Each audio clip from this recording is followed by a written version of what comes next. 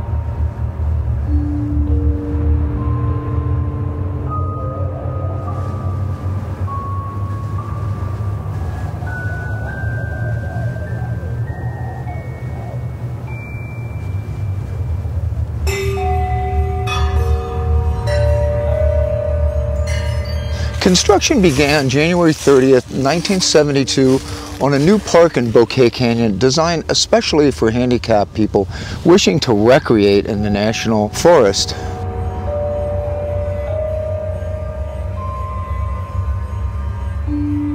Today, all new parks and trails are designed for wheelchair access, starting in 1990.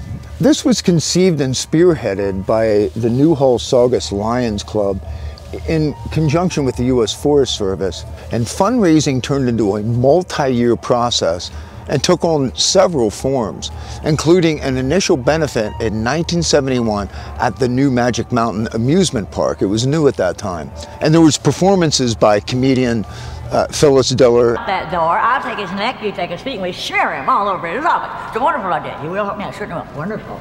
And the band leader, Horace Heidt.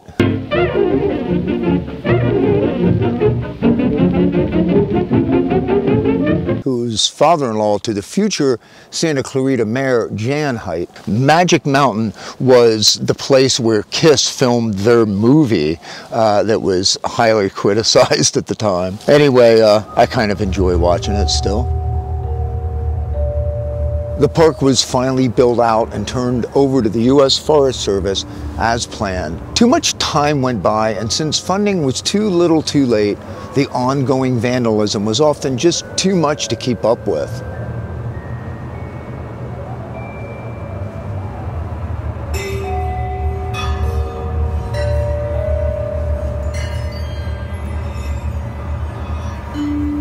With no park ranger station close by, the park ultimately closed and has sat idle for some time. It continues to be vandalized instead of enjoyed to this very day.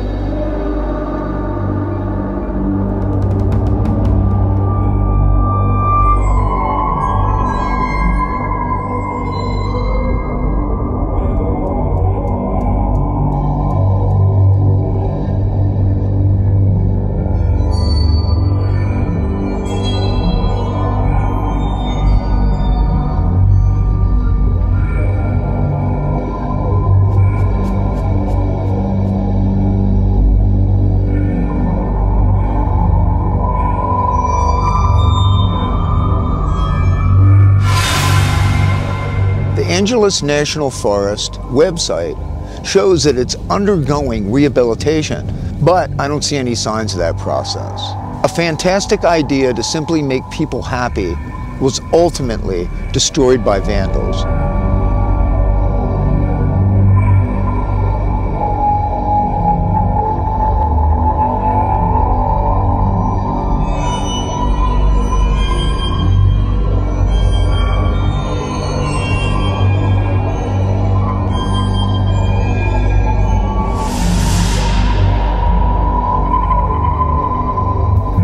Just walking the sidewalks and the bridges of the camp is sad. The camp cries for a rebuild and reinvigorating of ideas. Sadly, the bridges will probably only ever be visited by drunk teenagers and vandals and early morning joggers until it's ultimately leveled.